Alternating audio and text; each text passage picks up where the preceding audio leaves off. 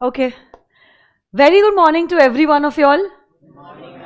Great तो uh, कल हमने फ़र्स्ट क्लासिफिकेशन की शुरुआत की थी and that was classification of companies on the basis of membership जिसके दो टाइप्स थे। कौन से दो टाइप्स थे private company and public company जो कंपनी प्राइवेट नहीं है उसको क्या कहते हैं? पब्लिक कंपनी तो what do you mean by a private company बोलो। जिसके आर्टिकल्स में तीन चीज़ों के बारे में लिखा है। कौन सी तीन चीज़ें? L R L is for what limitation on what number of members number of members up to 200 hundred R is for restriction on the transferability of share and P is for prohibition on making and invitation to the public 200 की गिनती करते वक्त joint holders will be considered as and employee members and ex employee members will not be counted. Yes or no guys? Uh, आज ना हम लोग क्या करेंगे? क्लासिफिकेशन uh, करेंगे on the basis of liability limited by shares limited by guarantee and unlimited company वो classification आज हम करेंगे. तो uh, आप लोगों ने नोटबुक्स लाई है अपनी? हाँ. उसी चार्ट में हम क्या करेंगे? कंटिन्यू करेंगे. आप लोगों ने अभी हेडिंग दिया था बीच में टाइप्स ऑफ़ कंपनीज़ सबसे पहला आपने हिस्सा दिया था मेंबरशिप बराबर ना? और मेंबरशिप में प्राइवेट और पब्लिक अब आप दूसरा हिस्सा दोगे और वहाँ पे लिखोगे liability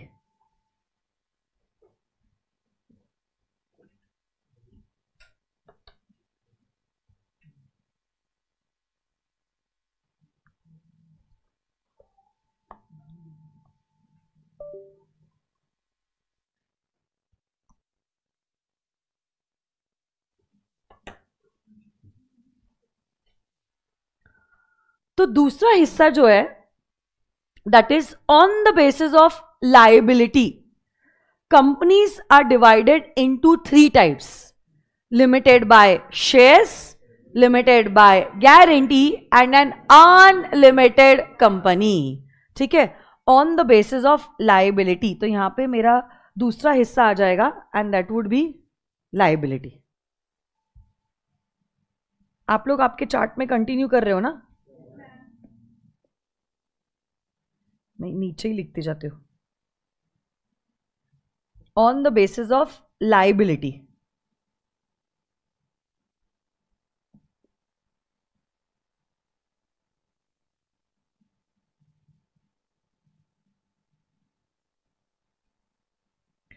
companies are divided into three types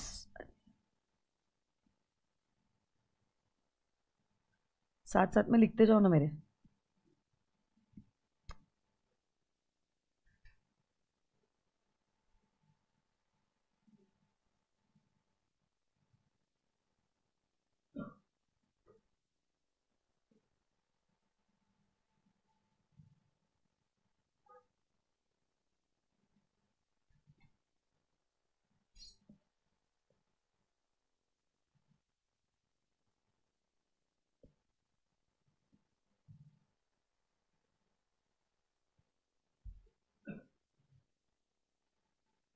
okay first type क्या है? Limited by shares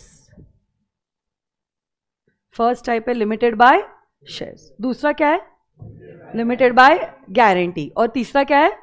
Unlimited company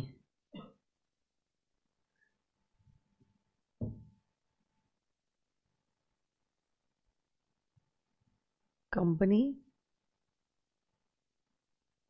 limited by shares. यहाँ पर है company limited, yes, by guarantee. और यहाँ पर है अनलिमिटेड कंपनी। मैं एक बार आपको सेक्शन नंबर भी बता देती हूँ। Company limited by shares is given all definitions are given under section number 2 section number 2 clause 22 is a company limited by shares company limited by guarantee is given under section number 2 clause 21 और तीसरा है unlimited company which is given under section number two clause 92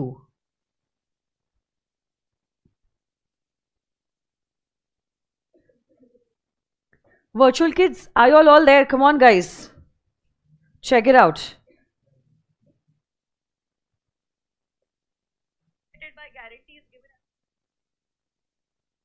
Okay okay. अब एक एक सभी points को explain करते हुए मैं बताना चाहती हूँ ये थोड़ा सा डिटेल कॉन्सेप्ट है फाउंडेशन से अगला लेवल है ये ठीक है तो कुछ बातें आपकी हो चुकी है कुछ बातें आपकी नहीं हुई है company limited by shares what do you mean by a company limited by shares तो सुनो मेरी बात। ऐसी कंपनी जहाँ पे मेंबर्स की liability is limited up to the extent of unpaid share capital is known as a company limited by shares तो company liability के बेसिस पे आपने देखा था टॉप क्लास उसमें सी एल एल किस बारे में था? लिमिटेड लाइबिलिटी लाइबिलिटी किसकी लिमिटेड होती है? it is the liability of the members that is limited तो यही कंपनी लिमिटेड बाय शेयर्स जो है ना उसमें लॉ मेकर कहते हैं that it is the liability of the members that is limit liability of the liability of the members that is limited up to the extent of unpaid share capital okay so here in such companies the liability of the members. The liability of the members is limited.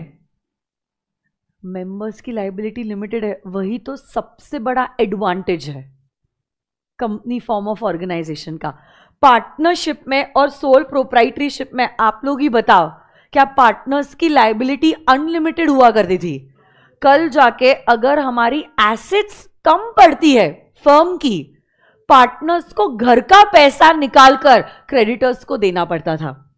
इसी disadvantage की वजह से we created company form of organisation in fact आज के जमाने में तो we created N LLP ठीक है? जो कॉम्बिनेशन है कंपनीज़ का और हाँ पार्टनरशिप फर्म का। दोनों के अच्छे अच्छे फीचर्स एलएलपी ने ले लिए। बहुत पॉपुलैरिटी गेन कर रहा है एलएलपी हाँ और इसीलिए इंस्टीट्यूट ने ये डिसीज़न लिया कि फाउंडेशन के बाद के बाकी के सारे सेक्शंस इंटर के बच्चों को इंट्रोड्यूस करने चाहिए ऑफ़ द एलएलपी एक्ट देखो तो कंपनी लिमिटेड बाय शेयर्स में it's the liability of the members that is limited up to the extent of what extent? Unpaid share capital up टू the amount of unpaid share capital. It's a company limited by shares तो shares तो होने ही वाले हैं।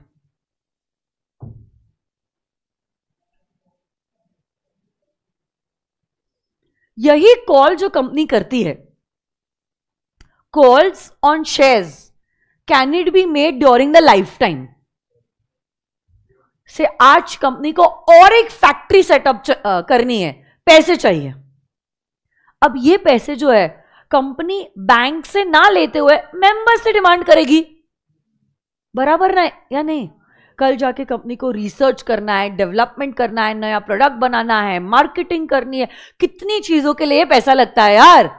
अब ऐसे case में अगर पैसे लग रहे हैं, किसी और से पैसे ना मांगते हुए हम ये पैसा डिमांड करेंगे from our members. So this call can be made either during the lifetime. Sometimes the call amount can also be called during the winding up. जब कोई कंपनी वाइंड अप होती है क्या करते हैं एसेट्स को बेचते हैं और लाइबिलिटीज को रीपे करते हैं अब one of the assets of the company is that the company can make a call on the shares हर एक मेंबर की रिस्पॉन्सिबिलिटी है। जिस दिन आप मेंबर बनते हो, उस दिन आप ये साइन करते हो कि जब कभी भी कंपनी शेयर्स पे कॉल करेगी we will pay the amount on the calls और आप कंपनी के ओनर हो, ये याद रखना, इसको मत भूलना आप। ओनर मतलब मालिक हो। So you are suppose to be with the company during the good times as well as the bad times. जब कंपनी का अच्छा समय चल रहा था, आपने बोला डिविडेंड आने दो राइट शेयर्स आने दो बोनस शेयर्स आने दो। आज कंपनी को किसी और की नहीं, आप लोगों की सबसे ज़्यादा ज़रूरत है। ऐसे समय पे आप मदद नहीं करोगे तो कौन करेगा? तो ऐसे केस में कंपनी अगर चाहे it can make a call on the shares even during the winding up to make the payment to the creditors तीसरे व्यक्ति का मतलब आउटसाइडर का पेमेंट करना ज़्यादा इंपॉर्टेंट है। और अगर ये पैसा कम पड़ता है तो हम मेंबर्स से पैसे डिमांड कर सकते हैं। In short the amount on the calls can be called either during the life time और during the winding up okay so, this liability this liability can arise either during the lifetime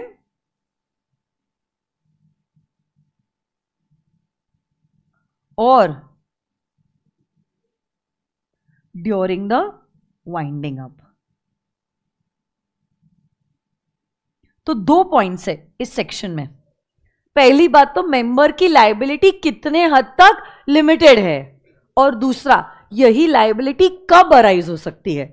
So this liability of the members is limited up to the extent of unpaid share capital which can arise either during the life time और it can arise during the winding up आप जानते हो कोई companies which are limited by shares बहुत सारी companies हैं India में। जो लिमिटेड बाय शेयर्स है। जिनके शेयर्स आपने देखे होंगे ट्रेड किए होंगे। बोलो ना।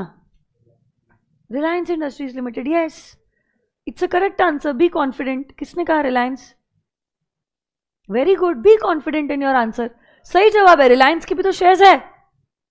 और आप शेयर्स खरीद के ही तो कंपनी के मेंबर बनते हो ना। शेयर्स अगर फुल्ली पेड आप शेयर्स है। तो लाइबिलिटी खत्म हो गई। बट अगर shares partly paid up shares है तो क्या कंपनी ये पैसा बुला सकती है? तो जैसे कि से फॉर एग्ज़ाम्पल कंपनी की शेयर्स uh, की फेस वैल्यू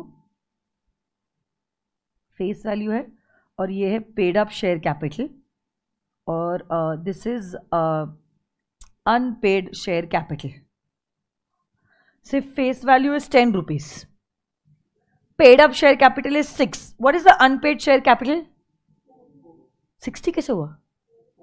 एक शेयर दस रुपए का है। भगवान वाला वाचवा एक शेयर बेटा दस रुपए का है और दस रुपए में से छह रुपए कंपनी को दे दिए हैं मेंबर ने। तो कितने पैसे बचे हुए हैं? चार रुपए बचे हुए हैं ना? बेटा हर बार ऐसा लिखा मतलब मल्टीप्लीकेशन नहीं होता है। द, दस रुपए फेस वैल्यू है जिसमें से छह रुपए मेंबर ने कंपनी को दे दिया है। तो कितना पैसा मेंबर ने देना बचा हुआ है? चार रुपए ना? चार रुपए अनपेड है। ये चार रुपए कंपनी जब चाहे बुला सकती है। इधर ड्यूरिंग द लाइफ टाइम और ड्यूरिंग द वाइंडिंग अप हाँ या ना? वैसे ही से फॉर एग्ज़ाम्पल अगर दस रुपए के शेयर है और पूरे के पूरे दस रुपए दे दिए है तो कितना अनपेड अमाउंट है? Unpaid amount is zero and because the shares are fully paid of shares इस केस में मेंबर्स की लाइबिलिटी एक्सटिंग्विश हो चुके एक्सटिंग्विश हो चुके है मतलब खत्म हो चुकी है। इस केस में मेंबर्स की लाइबिलिटी खत्म हो चुकी है एक्सटिंग्विश हो चुकी है। ये सुनो guys so this four rupees be called either during the life time और ड्यूरिंग द वाइंडिंग अप बहुत सारे एग्जाम्पल्स है इन कंपनीज़ के, बहुत सारे। Majority companies in India are limited by shares कोई भी बिग शॉट कंपनी को देख लो आप रिलायंस इंडस्ट्रीज़ लिमिटेड टाटा मोटर्स टीसीएस इंफोसिस अदानी ये सारी companies are nothing but these are companies limited by shares ठीक है? जहाँ पे बताओ मेंबर्स की लाइबिलिटी कितने हद तक लिमिटेड होती है? Unpaid amount of share capital जो कब कब बुलाया जा सकता है? इधर ड्यूरिंग द लाइफ टाइम और during the winding very good next category of company is company limited by guarantee company limited by guarantee so what is a company limited by guarantee ये वो ऐसी कंपनी है जहाँ पे members की liability is limited by the memorandum okay और इसी memorandum में एक लाइबिलिटी क्लॉज होता है, जिसमें मेंबर अग्री करता है कि कल जाके कंपनी अगर वाइंड अप होती है, हम ये पैसा आपसे बुलाएँगे और मेंबर ये पैसा कंपनी को देगा। So basically this guaranteed amount is written in the company's memorandum of association ये गारंटीड अमाउंट कहाँ लिखा होता है? मेमोरेंडम ऑफ़ एसोसिएशन और ये guaranteed amount can be called only during the winding up yes so देखो ये वाला जो पैसा था ये वाला मतलब कौन सा वाला? अनपेड शेयर कैपिटल वो लाइफ टाइम में भी बुलाया जा सकता था। और वाइंडिंग अप में भी बुलाया जा सकता था। बट ये पैसा जो है guaranteed amount this can be called only during the winding up of the company it can be called only during the winding up of the company ठीक है? और कितना अमाउंट बुलाया जा सकता है? सिर्फ़ गारंटीड अमाउंट तो सपोज़ मेमोरेंडम में पचास रुपए लिखा है। मेमोरेंडम में पचास रुपए लिखा है। तो मैं कितना पैसा बुला सकती हूँ? पचास रुपए। मैक्सिमम पचास। कब बुला सकती हूँ? Only during the winding up ऐसी कंपनीज़ को कहते हैं a company limited by guarantee but सुनो ना a company limited by guarantee के दो टाइप्स होते हैं। Not having share capital and having share capital तो ये आपको फाउंडेशन में नहीं था, ये इंटर में है। तो एक एक करके हम देखते हैं, ठीक है? धीरे धीरे करके।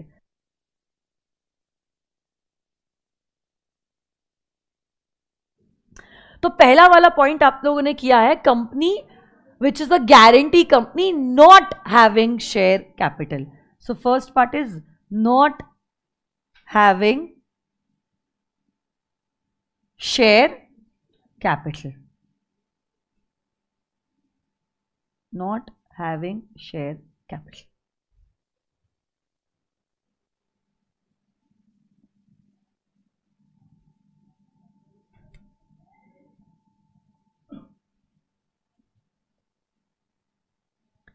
अच्छे ब्लॉग्स बना देती हूँ। पढ़ना अच्छा लगता है फिर। आपकी बुक्स को एकदम दुल्हन जैसे सजाना है आपने।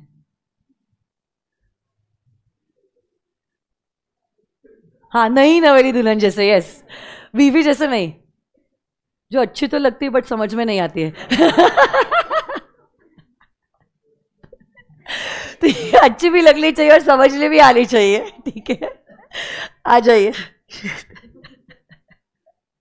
ओके तो very bad okay so if your company is a guarantee company not having share capital ठीक है your company is a guarantee company not having share capital यहाँ पे मेंबर्स की liability is limited up to the extent of the guaranteed amount written in the memorandum और ये amount बुलाया जा सकता है only during the winding up आप अगर देखोगे, मैं दो पॉइंट्स कवर कर रही हूँ।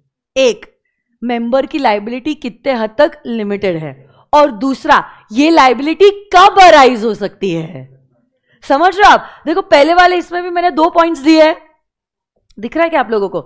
पहला वाला पॉइंट कह रहा था, ये कंपनी में मेंबर्स की लाइबिलिटी कितने हद तक लिमिटेड है? अनपेड शेयर कैपिटल और ये जो पैसा है, कब अराइज होता है? कब लाइबिलिटी अराइज हो सकती है? इधर ड्यूरिंग द लाइफ टाइम और ड्यूरिंग द वाइंडिंग वैसे ही similarly we are going to do for this and this ठीक है? तो इसमें सबसे पहले आपकी गारंटी कंपनी है which is not having share capital ये बहुत इजी है। ऐसी कंपनी में लिखो तो जरा। The liability of the members या तो फिर हाँ ठीक है। Liability of the members liability of the members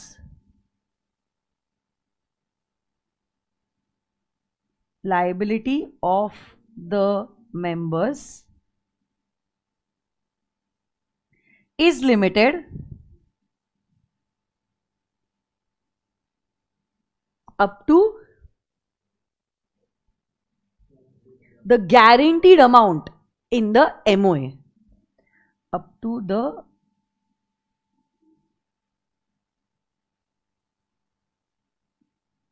guaranteed amount in the MOA तो ये गारंटीड अमाउंट कहाँ पे लिखा होता है?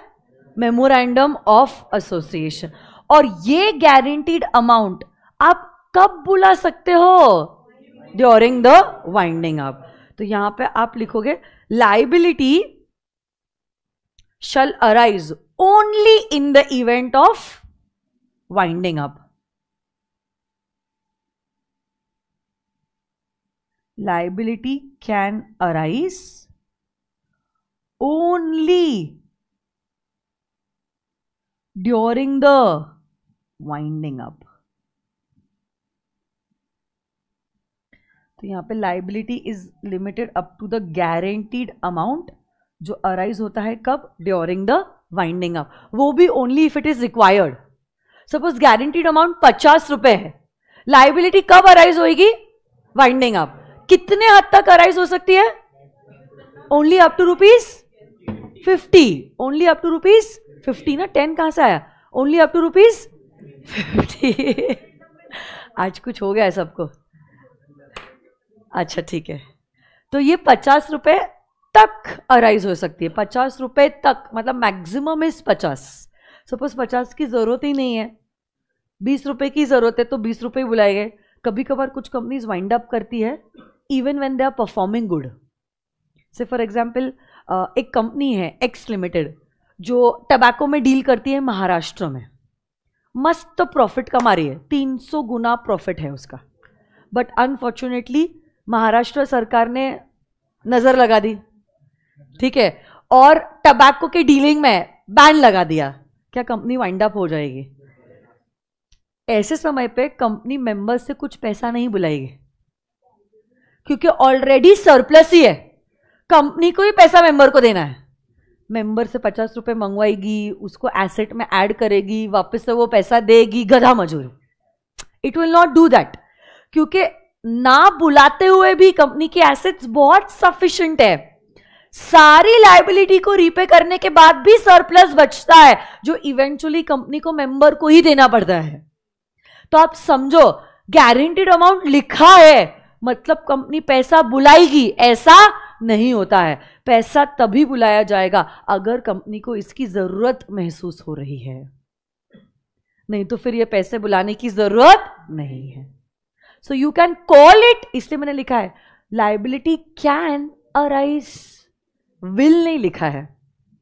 इट कैन अराइज हो भी सकता है, नहीं भी हो सकता है। ड्यूरिंग द वाइंडिंग अप और maximum extent is the guaranteed amount written in the memorandum of association.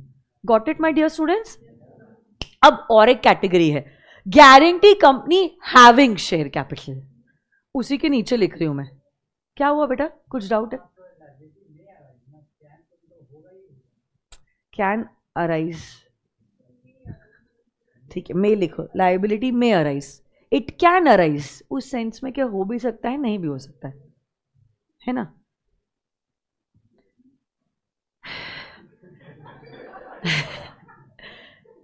नहीं इंग्लिश ऐसी फनी लैंग्वेज है। कुछ नहीं कर सकते। उसमें आपकी या मेरी कोई गलती नहीं है। इसलिए तो even in the Indian contract act so many words are Latin words हाँ इंग्लिश में ही उतनी डिक्शनरी उसकी उतनी नहीं है। Consensus ad idem quid pro quo void ab initio मतलब बेसिक वर्ड भी वर्ड एब इनिशो इंग्लिश में नहीं है. लैटिन वर्ड मतलब लैटिन डिक्शनरी से चुरा है. सारे अंकल अंकल ही होते हैं. मामा भी अंकल, चाचू भी अंकल, बड़े पापा भी अंकल ही होते हैं. मासी भी आंटी होती है, मामी भी आंटी होती है, बुआ भी आंटी होती है. अब आप ही बताओ. ऐसे थोड़ी ना होता है. बुआ और मासी में कितना डिफरेंस है? दोनों को थोड़ी ना आंटी आंटी बोल सकते हैं. सेम हो इमोशनल हो रहे तो लोग. तो वही बात है, अभी कुछ नहीं कर सकते उसमें.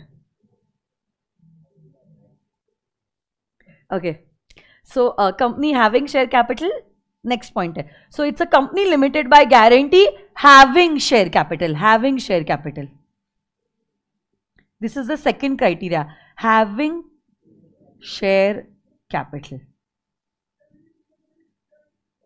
first वाला नॉट हैविंग शेयर कैपिटल ये वाला है हैविंग शेयर कैपिटल यहाँ पे ना मेंबर्स की लाइबिलिटी टू फोल्ड है. यहाँ पे मेंबर्स की लाइबिलिटी जो है ना, वो टू फोल्ड है. अरे अरे.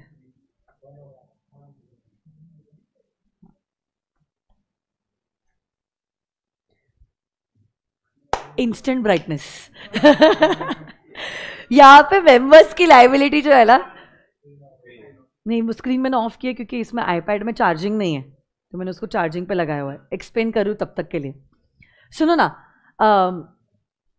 मेंबर्स और pitch pitch no pitch pitch members की लाइबिलिटी टू फोल्ड है। ऐसी कंपनी जो गारंटी कंपनी है which is having share capital India में आपने कंपनी के बारे में सुना होगा doctor Reddy doctor Reddy's laboratory limited it's a pharmaceutical company Hyderabad based company this is a real life practical example of a guarantee company having share capital. ऐसे तो अपने मेमोरेंडम से वो गारंटी कंपनी है बट उसके shares भी है।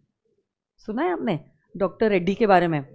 तो अब ऐसे केस में अगर आपकी गारंटी कंपनी है हैविंग शेयर कैपिटल अगर आपकी गारंटी कंपनी है having share capital as a member member की लाइबिलिटी टू फोल्ड है. It's a combination of company limited by shares and a company limited by guarantee दोनों का बच्चा है company which is a guarantee company having share capital दोनों के गुण ले लिए उसने. पहली बात तो मेंबर्स की लाइबिलिटी वाइंडिंग अप के वक्त अराइज होगी up to the extent of the guaranteed amount written in the liability clause of the memorandum and plus, because it's a guarantee company, having share capital unpaid share capital जो है, वो कंपनी अपने members से बुला सकती है इधर ड्यूरिंग द लाइफ टाइम और ड्यूरिंग द वाइंडिंग अप तो वाइंडिंग अप के वक्त तो कंपनी दोनों चीज़ें बुलवा सकती है। अनपेड शेयर कैपिटल भी और गारंटीड अमाउंट भी। ऐसी कंपनी को कहते हैं as a guarantee company having share capital जहाँ पे मेंबर्स की लाइबिलिटी टू फोल्ड है guaranteed amount which can only be called during the winding up and unpaid share capital which can be called either during the life time और during the winding up got it और no लिख लो फिर।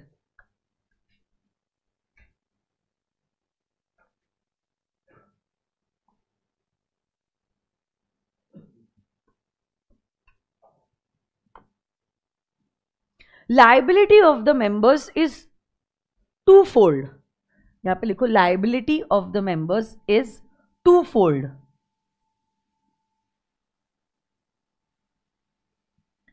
liability of the members is twofold one बताओ one is what guaranteed amount जो कब arise होगा?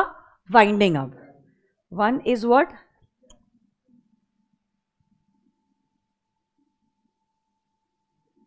Guaranteed amount, which will arise when?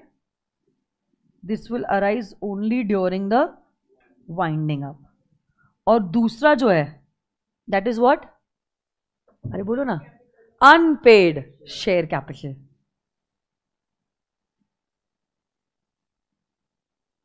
unpaid share capital which can arise when yes either during the lifetime or during the winding up इसका आप example लिख सकते हो doctor Reddy's laboratories limited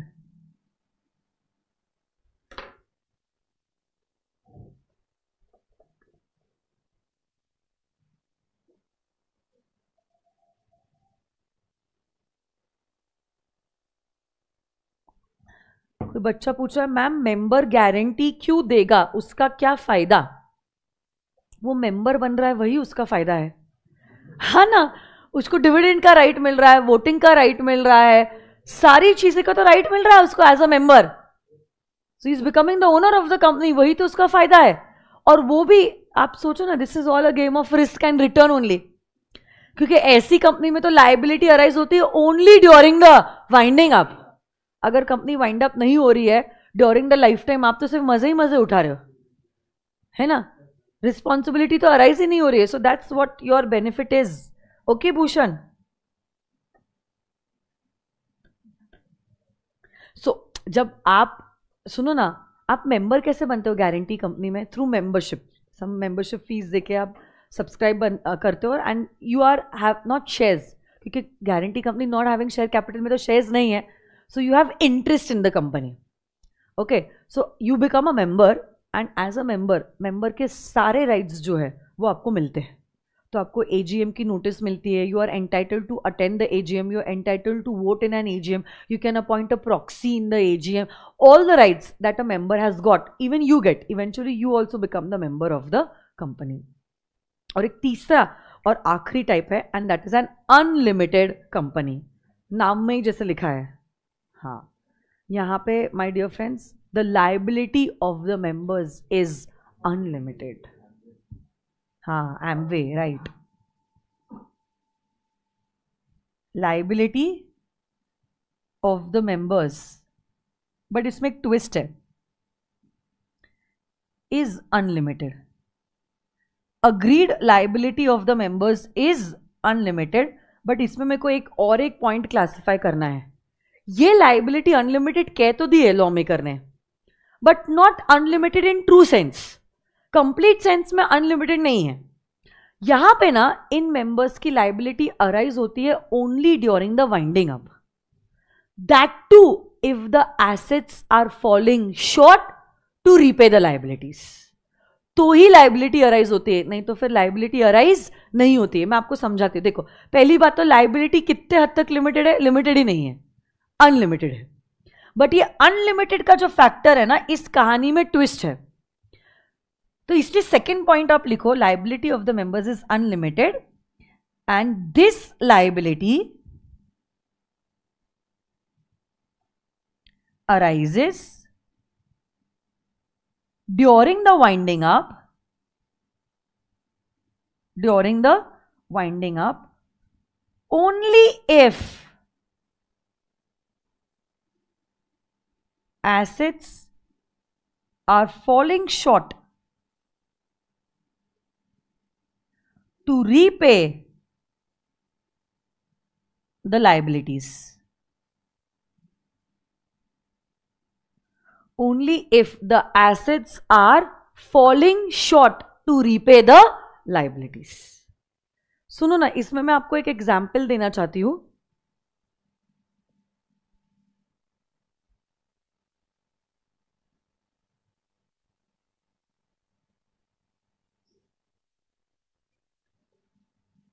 सुन रहे हो क्या? देखो, सुनो। Say for example this is case one two three ले लेते हैं। से ये एसेट्स है, ये लाइबिलिटीज है, और ये शॉर्टफॉल है, और ये नंबर ऑफ़ मेंबर्स है। So say for example case one में एसेट्स ना एक लाख की है। लाइबिलिटीज दस लाख की है। शॉर्टफॉल कितना है? अरे बोलो ना। शॉर्टफॉल कितना हुआ? नाइन लैक्स हुआ ना? और नंबर ऑफ़ मेंबर्स से दस हज़ार है। तो बताओ how much contribution per member आएगा? नाइन लाख डिवाइडेड बाय दस हज़ार करो ना। नाइन हंड्रेड रुपीज़ नहीं नाइन्टी रुपीज़ आया। नाइन्टी रुपीज़ आया। चलो, दूसरे केस में एसेट पाँच लाख है और लाइबिलिटी दस लाख। शॉर्टफॉल कितना है? पाँच lakh. Number of members same रखते हैं, दस लाख। दस हज़ार। तो what is the contribution per person fifty rupees तीसरा केस एसेट जो है ना maybe eight lakhs liability दस लाख। शॉर्टफॉल कितना है? नंबर ऑफ़ मेंबर्स दस हज़ार। ट्वेंटी रुपीज़ देखो, मेरे को आपको एक बात बतानी है। पहले दो केसेस जो आपने किए थे, पहले दो केसेस कौन से थे पहले दो cases limited by shares and limited by guarantee जब कंपनी इनकॉर्पोरेट हुई थी, तभी मेंबर को पता था फेस वैल्यू दस रुपए है। मैक्सिमम मेरी लाइबिलिटी दस रुपए गारंटी केस में, मेरे को पता है मेमोरेंडम के लाइबिलिटी क्लॉज में लिखा है पचास रुपए ज़्यादा से ज़्यादा जो पैसे मुझसे बुलाए जा सकते हैं, वो पचास रुपए मतलब जब कंपनी इनकॉर्पोरेट हुई थी, या मैं मेंबर बनी थी, तभी मुझे पता था कि मेरी लाइबिलिटी कितने हद तक लिमिटेड हो सकती है। इससे एक रुपया ज़्यादा मेरे को देना नहीं पड़ेगा। बट अगर आप ये अनलिमिटेड कंपनी की केस देखते हो, जब कंपनी इनकॉर्पोरेट होती है, हम कभी प्रिडिक्ट नहीं कर सकते डे वन पे कि कंपनी कब वाइंड अप होगी। कंपनी वाइंड अप होगी, तब क्या शॉर्टफॉल होगा या सरप्लस होगा? शॉर्टफॉल होगा तो शॉर्टफॉल क्या नौ लाख का होगा, पाँच लाख का होगा, दो लाख का होगा, एक लाख का होगा, पचास हज़ार का होगा? हमें कुछ आइडिया नहीं है। मतलब पाँच रुपए, पचास रुपए, पाँच सौ रुपए, पाँच हज़ार रुपए भी लाइबिलिटी आ सकती है। There is no limit on the liability that can arise during the winding up इसलिए कंपनी का नाम आ गया unlimited company try to understand compare this type with the first two types first two type में limited by shares में, जैसे कि मैं एकदम हंड्रेड परसेंट गारंटी से कह सकती हूँ, मेरी लाइबिलिटी दस रुपए तक लिमिटेड है। गारंटी कंपनी में कह सकती हूँ, मेरी लाइबिलिटी पचास रुपए तक लिमिटेड है। बट इस कैटेगरी में मैं कुछ नहीं कह सकती हूँ। पाँच रुपए भी हो सकता है, पचास भी हो सकता है, सौ भी हो सकता है, डेढ़ सौ भी हो सकता है। लाइबिलिटी के ऊपर कोई भी लिमिट नहीं है। इसलिए कंपनी का नाम आ गया अनलिमिटेड कंपनी बट ये बात याद रखना this liability will arise only during the winding up जब कंपनी को पैसा लग रहा है मेंबर के पास वो नहीं देख सकती। ठीक है? It can only call the amount during the winding up okay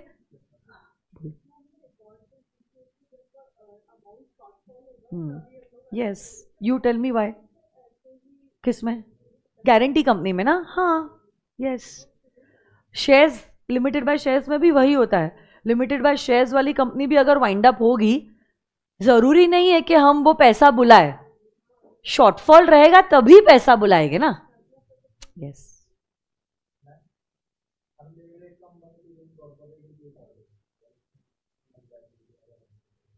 Unlimited company incorporate ही क्यों करते हैं?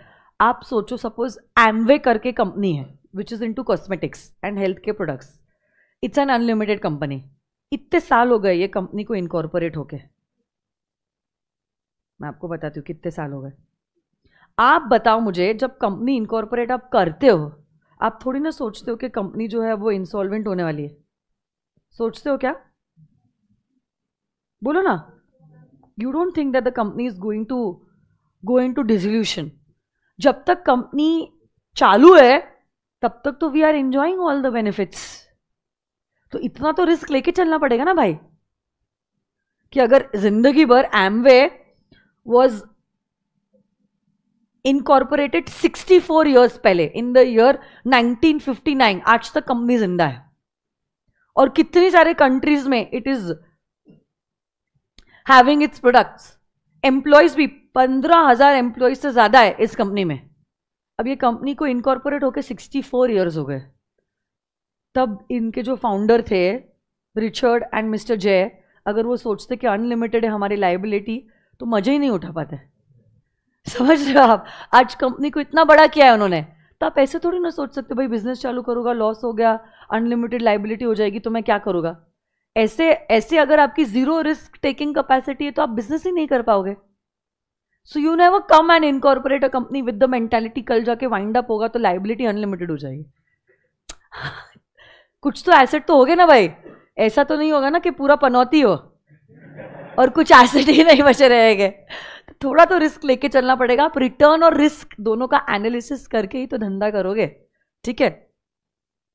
So so, yes yes. अब और एक सवाल है जो इंस्टीट्यूट यहाँ पे ऐसे बनाती है। इंस्टीट्यूट ऐसा सवाल बनाती है कि ये जो कंपनी ना लिमिटेड बाय शेयर्स और ये limited by guarantee not having share capital इसकी सिमिलैरिटीज और डिफरेंसेस बताओ। इसकी क्या? सिमिलैरिटीज और डिफरेंसेस बताओ। बता सकते हो आप लोग? कंपनी लिमिटेड बाय शेयर्स और कंपनी लिमिटेड बाय गारंटी के similarities and differences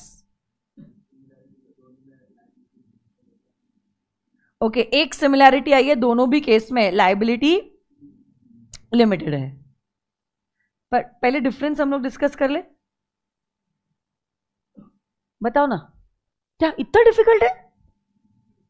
come on guys ये कंपनी लिमिटेड बाय शेयर्स और ये company limited by guarantee very good यहाँ पे liability is limited up to what extent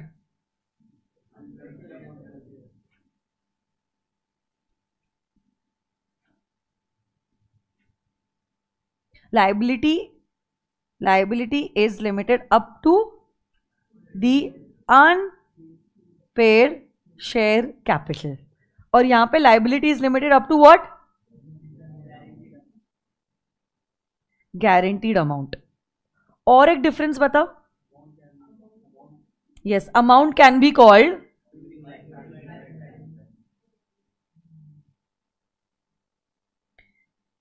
एक तो life time या तो फिर वाइंडिंग अप और यहाँ पे amount can be called only during the winding up ये तो दो डिफरेंसेस हो गए। अब सिमिलैरिटी बता। किसी ने बताई थी ना एक सिमिलैरिटी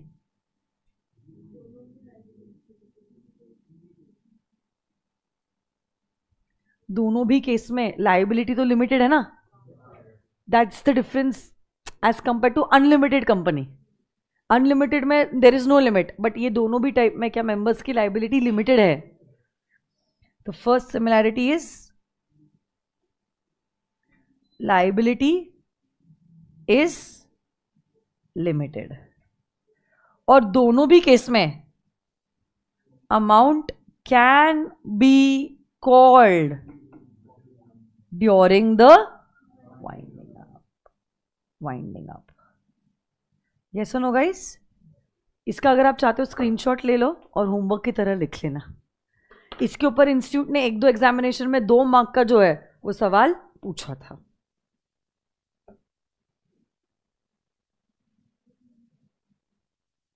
स्क्रीनशॉट हो सकता है। यूट्यूब पे है ना?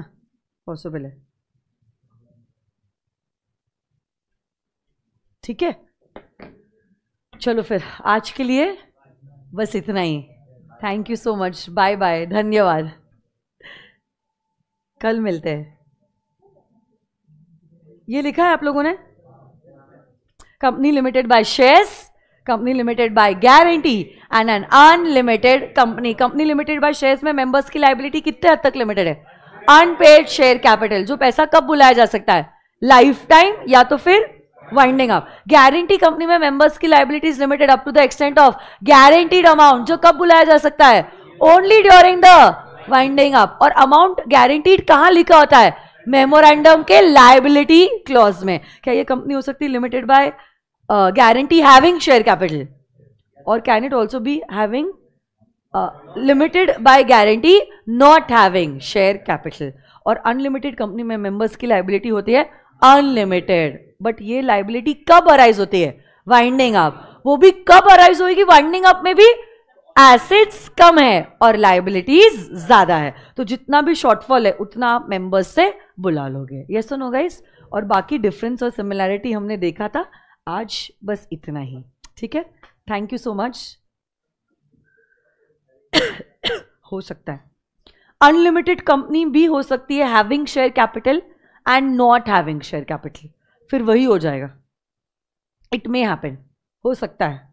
अनलिमिटेड कंपनी भी हो सकती है हैविंग शेयर कैपिटल तो अगर आपकी अनलिमिटेड कंपनी है having share capital life time में आप अनपेड शेयर कैपिटल का पैसा बुला सकते हो। वाइंडिंग अप में भी अनपेड शेयर कैपिटल बुला सकते हो। उसके बाद भी अगर शॉर्टफॉल है तो वो शॉर्टफॉल आप सारे मेंबर्स के बीच में इक्वली डिस्ट्रीब्यूट करके पैसा बुला सकते हो। इट्स पॉसिबल ठीक है? ओके okay, और किसी को कोई भी शक? कोई सवाल? Virtual kids what about you all thank you okay thank you अगर मैम बाइंडिंग अप के वक्त मेंबर गारंटीड अमाउंट पे नहीं कर रहा है तो कंपनी केस फ़ाइल करके पैसा रिकवर कर सकती है। So that's possible legal action लिया जाएगा आपके अगेंस्ट और आपको वो पैसा देना पड़ेगा। ओके okay, विष्णु चलो great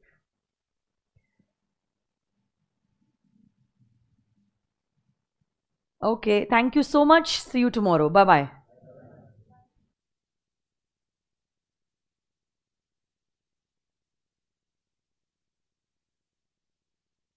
देखो even if the company is a company not having share capital फिर भी मेंबर्स को डिविडेंड का राइट right मिलता है।